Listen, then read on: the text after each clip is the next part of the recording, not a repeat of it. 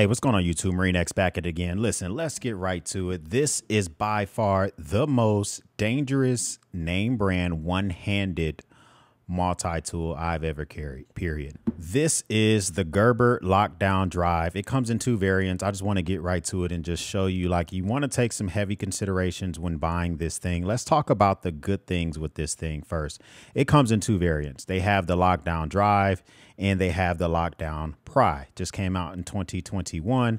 I didn't see the purpose in getting both the Drive and the Pry. I already have like this little Gerber utility tool. I think it's called the Prybrid X. I'll, I'll link all this stuff up below, which has a little pry bar in it and also has some flat heads and bottle openers and lanyards and all that. Comes with utility knife. So I, I didn't I didn't see the point of duplicating efforts to carry that. So I just decided to pick up the drive and I was kind of excited about it because, you know, in the past I saw the Armbar and that was a pretty good looking tool. It was kind of big and odd looking, but it was a, it was a pretty good looking tool. So the goal with the lockdown drive is to basically tackle the task that you do a lot of, which is screwing in stuff, unfast, you know, screwing in fasteners, um, you know, having to cut stuff, also having to file things into one quick tool. So it has a textured grip here, which actually feels pretty good. They have low profile bars on it instead of thumb studs, which we'll talk about here in a second. About 10 tools all in one. There's an exchangeable blade that you can change out.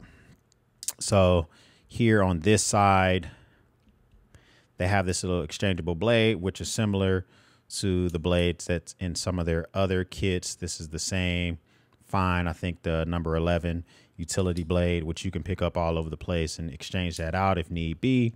So it also has an awl on here, which is kind of blocked a little bit by the stud. We'll talk about that here in a second. So each of the tools at the top have a frame lock. So the awl, the actual knife itself has a frame lock which is right there. So you can decompress that to put the tool back in place. And the actual drive tool is on the other side. You can access that kind of pushing up here. That's a, just a slip lock. So when you're done using this tool, you just push it back and you don't have to worry about that. So the file itself is here and one side is coarse, one side is fine. So whatever type of filing you need to do, you can. And then I do like the chiseled edge. So it has a chiseled edge. I don't know if you would ever be using it like a traditional chisel. When I use a chisel, I'm usually hitting it with something to whatever, you know. So I would use a chisel edge to dried up glue on my woodworking task, stuff like that. I would get that stuff up with. So it also includes a two and a half inch plain edge knife right here. You know, it's pretty decent. It keeps a haven't had it long. I think it'd be pretty easy to resharpen.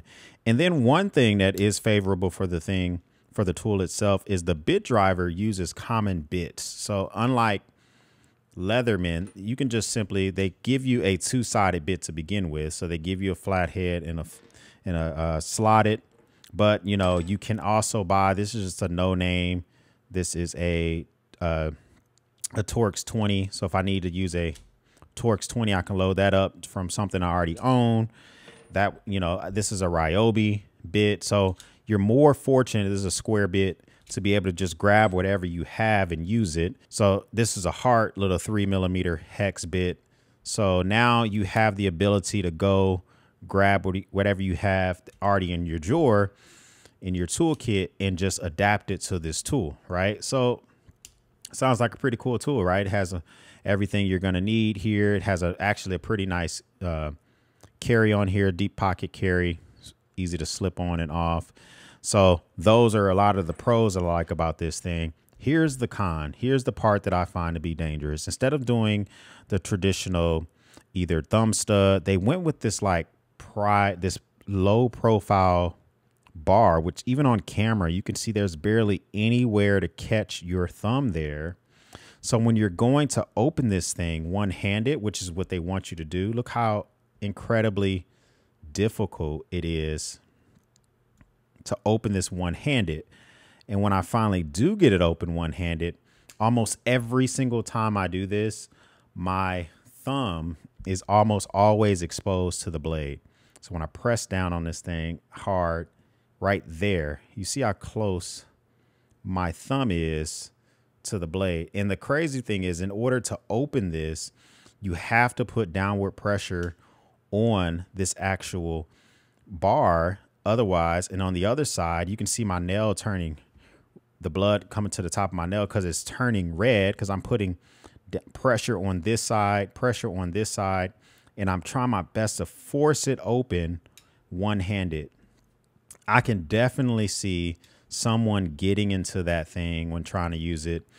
Also, the actual frame lock is extremely tight. Like it is hard to actually push over and get out your way, like in a lot of frame locks and a lot of knives. Same with this side. Because of the actual pocket clip, this becomes even more difficult to access the awl. So if I press down here, it's the most awkward and dangerous tool I could imagine using. There's barely anywhere to access this on this. So if you just really, if you compare that here, I have a Leatherman T4. Now the Leatherman T4 does not have a bit driver. The T4 feels a lot easier to open pressing here. I don't feel like I'm going to freaking slice my finger off doing a one-handed opening with the T4. But the T4 does not purport itself to be a one-hand opening multi-tool. They want you to use two hands to use this thing. That's why the only thing you can access almost one-handed is the flat blade, but I can still get to that pretty easily with a one-hand open. This, the lockdown, they advertise it as a one-hand open tool, and it's so hard to do. You know, I just would barely recommend this to anyone. If you really just want a multi-tool that uses common bits and you don't want to have to use the proprietary bits, which are with Leatherman and stuff like that, then I guess maybe you could pick it up. I would just recommend, you know, that you're definitely going to want to use this with a two handed open type method. So keep two hands on it with positive control. So, you know, if this is not something that, you know, I would recommend anybody, I usually don't do videos like this with just literally just one tool, but I felt like this, this new, you know, snag, I snagged this new tool and it didn't feel like I was really grabbing a good deal with this thing. They're only about, you know, they range between 45 and 50 bucks. So if you do want to pick it up, you know, I did see one guy on YouTube who modified it and he kind of filed this down a little bit to make it more accessible for actually getting access to that one handed. And if you're about that, then do your thing, man. But that's all I got for you guys today. If you're not already a subscriber, man, make sure you hit that subscribe button below. We would love to have you. And for those that have come back, welcome back. And I appreciate you visiting the channel. We will speak soon.